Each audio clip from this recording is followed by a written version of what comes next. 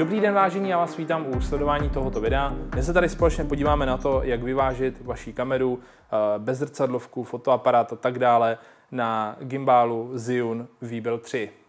Způsob vyvažování bude samozřejmě úplně identický u většiny gimbálů a primárně u celé řady Weebill eh, je toto vyvážení vlastně de facto identický. U valné většiny gimbálů je součástí balení vždycky stativ, ten vždy dáme takhle ze spoda toho samotného gimbálu a to nám umožní následně vyvažovat. Součástí balení je i vždycky takováhle rychloupínací destička. Ta konkrétně u modelu Weebill 3 má standard Manfrotto, což je úplně nejlepší řešení, protože vlastně následně pokud máte nějaký rychloupínací systém standardu Manfrotto, ať už na stativu, na rigu, kdekoliv, tak zkrátka použijete tuhle destičku a jak můžete vidět, je zkrátka kompatibilní s upínacím systémem Manfrotto. Tím, že tady je nějaký výstupek na přední straně, tak v mém případě třeba u tohohle upínacího systému je kompatibilní pouze v jednom směru, ale pořád lepší než nic. Standard Manfrotto je zároveň výhodný v tom, že jakmile tu destičku jednou ztratíte, tak velice jednoduše seženete jinou.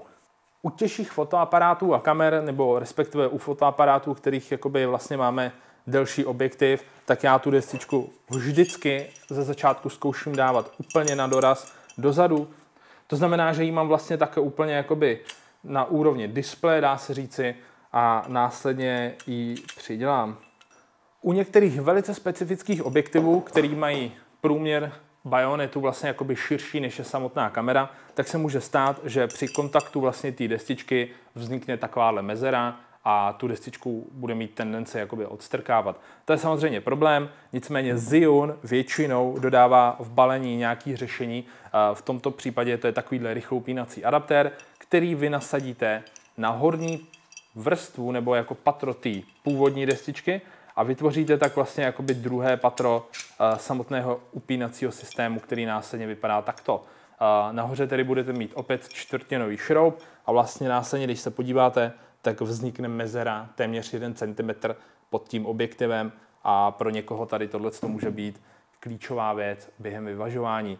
Dá se to řešit samozřejmě i jinými díly, eh, jako nějaký cheese platey a tak dále, ale tohle je takový elegantní, rychloupínací řešení tady s pojistkou, vyndavatelný, skvělý řešení. Pro odemknutí gimbálu je vždy potřeba povolit takhle tyhle ty zámečky a to vlastně ve všech třech osách, aby gimbal byl otočný v každém směru. Následně začneme polohou směrem k vám, kdy vlastně já mám to rameno také po pravé straně, abych přečetl tenhle ten nadpis a u tohoto gimbálu vyvažujeme tady tohleto rameno vlastně tím, že posouváme celý rychloupínací systém ze strany na stranu. Jak můžete vidět, to rozpětí od toho bočního motoru vpravo je fakt obrovský. To znamená, že tam dáte i opravdu širokou kameru v kleci. A nicméně zkusme tam tedy dát Panasonic Lumix GH5.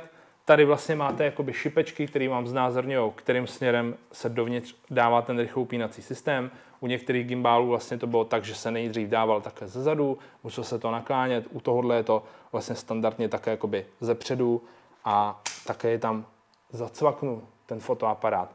Ten fotoaparát mi ze začátku samozřejmě začne také padat na stranu.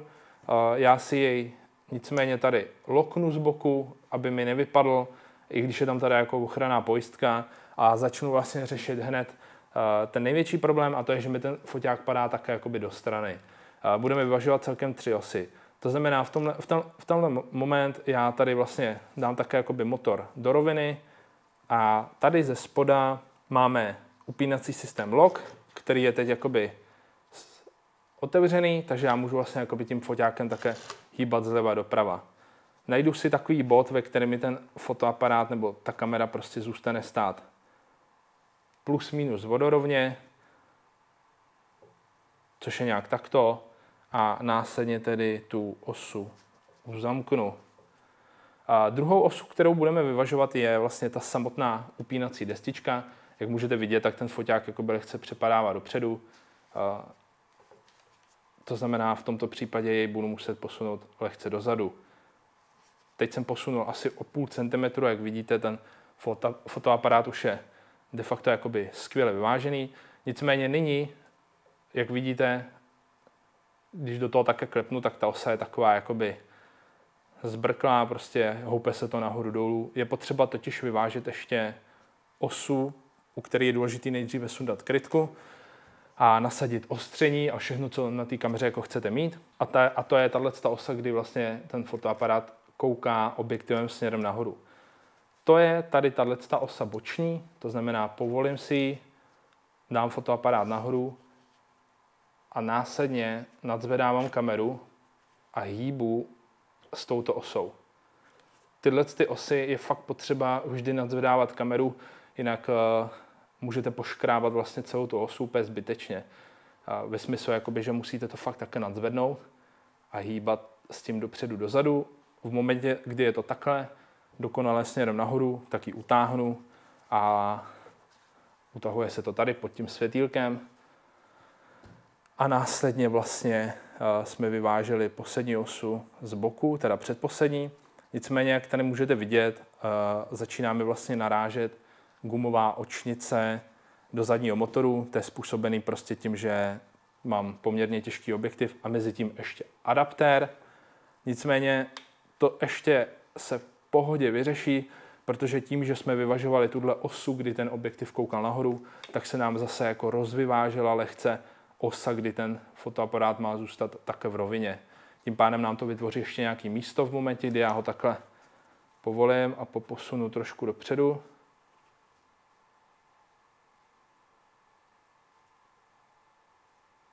Tak, nyní uzamknu. A jak vidíte, tak je to teď dokonale vyvážený, dokonce i v této ose mi to zůstává svévolně stát, tak to také, ale když se podíváte, tak ten gimbal má tendenci se ještě jakoby otáčet v horizontu. To je způsobený tím, že tady máme ještě také osu ze spoda, která vlastně jakoby má vliv uh, následně, pokud děláme takový ten otáčivý efekt, vortex, vertigo a tak dále. A ten si vyvažuje vlastně tak, že vždycky na té straně, kde máte také ty dvě nožky, tak já je vždycky tak jakoby položím. A jak vidíte, on se jako zhoupne a já následně si tady povolím vlastně tenhle ten šroub a také s tím hýbu a hledám bod, kdy on vlastně mě nepřepadává tenhle ten zadní motor ani dolů, což je tady, ani nahoru, ale zůstane tady tak jakoby stát jakoby v boku. To znamená, vám ukážu jeden extrém, to je, když to úplně vytáhnu, tak to padá směrem k vám, ale když to trošku tady také povytáhnu a jsme teda už hodně na hraně, tak tady v této fázi, kdy už to zůstává svévolně stát v boku, tak je to to, co my chceme a v ten moment to také tady utáhnu. A máme vlastně perfektně vyvážený gimbal, s tím, že plus minus lehké odchylky nás nezajímají, protože jde o to maximálně odlehčit tomu gimbálu, aby ty motory pracovaly co nejlépe a v tenhle moment už můžeme s gimbálem pracovat. Normálně je zapneme a fungujeme.